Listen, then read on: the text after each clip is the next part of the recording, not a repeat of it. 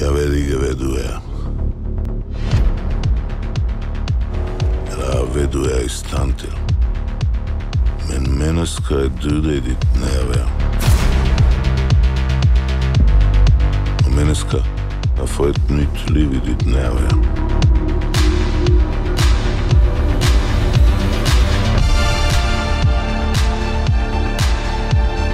Jeg tror, at du er død. Du håbede måske.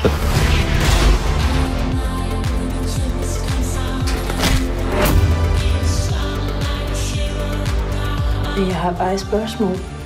Det var ikke så et spøgelse.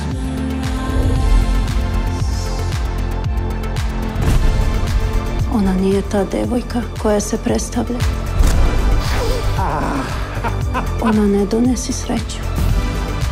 Ma ti čisti đavo.